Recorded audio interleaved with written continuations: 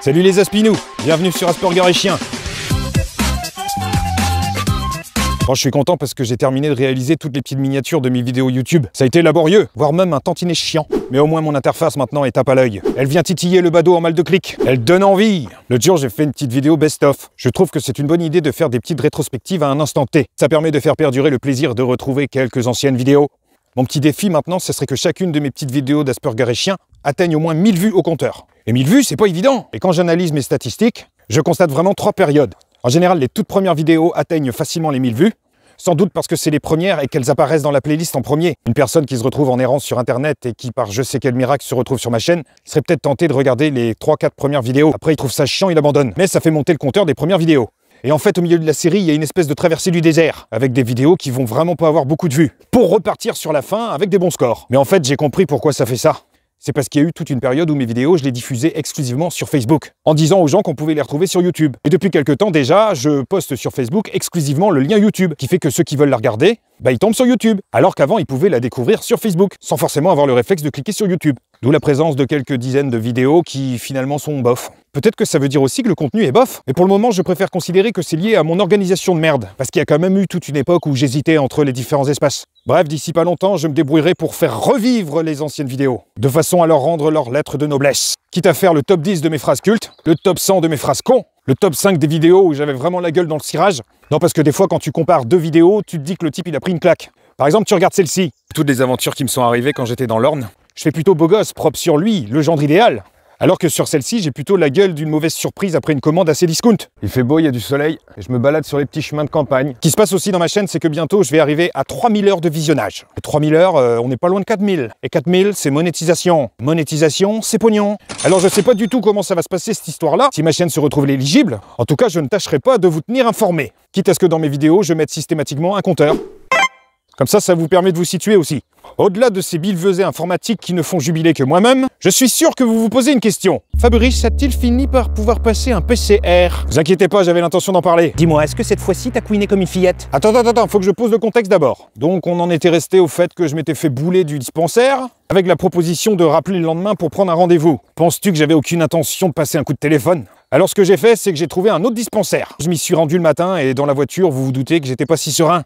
Aujourd'hui, je vais me prendre un coton dans le nez, ça va être bon. C'est pas vraiment comme ça. La dernière expérience m'avait traumatisé. Alors une fois que je suis arrivé sur place, euh, la première chose qui m'est apparue, c'est la file d'attente. Et autant vous dire que moi je suis très mal à l'aise à l'idée de me taper une grosse queue en public. Comme Rocco Non, non, cette blague de Rocco je l'ai déjà faite. Non, dans le sens d'être debout et d'attendre. Bon, j'ai pris sur moi et j'ai rejoint la file d'attente. Et là, patatras, que s'est-il passé? J'ai constaté qu'il y avait deux files d'attente. Et au milieu, un panneau. Prioritaire, pas prioritaire. Prioritaire, Autant dire que je suis resté quelques secondes au milieu, ne sachant pas comment me positionner. Dans l'absolu, vu mon métier, je suis censé être prioritaire, mais j'avais aucun document qui l'attestait. Du coup, en moi, il s'est passé une espèce de bug. Et comme je préfère faire les choses dans les règles, bah, j'ai pris la file non prioritaire. À ce moment-là, je n'avais pas percuté que les deux files finissent par se rejoindre, et qu'une fois à l'intérieur, personne vérifie. Prenant mon mal en patience en attendant mon tour, essayez de pas me laisser distraire par les parasites autour. Enfin, je veux parler des autres personnes. Tu sais, à ce moment-là, tu te poses des questions.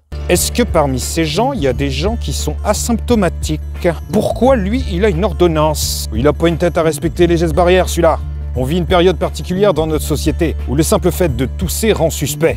À l'intérieur du dispensaire, c'était branle-bas de combat. Dans un centre de consultation Covid, les distances en termes de confidentialité sont pas respectées. J'ai tout entendu la vie des gens.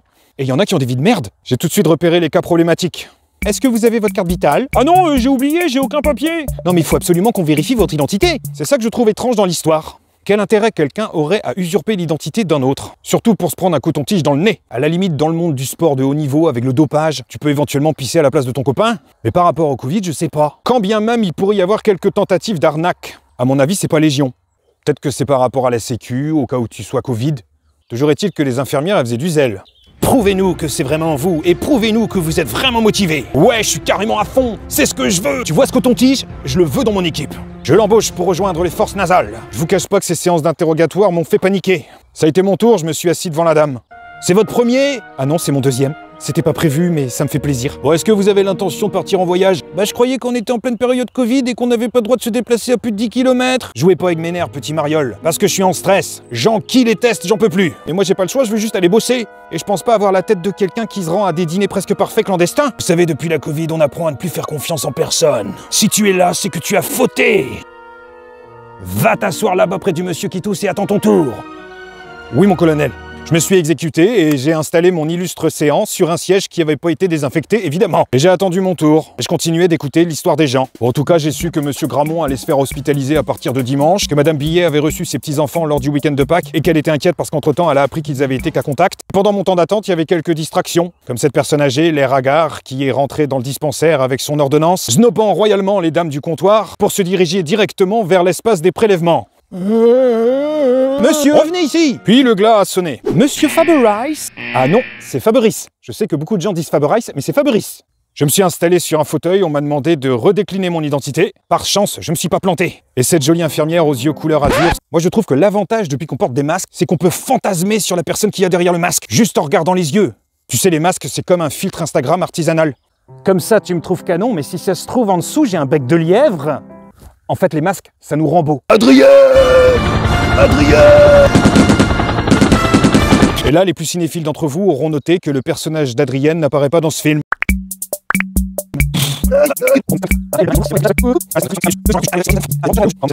Et cette jolie infirmière aux yeux couleur azur s'est adressée à moi.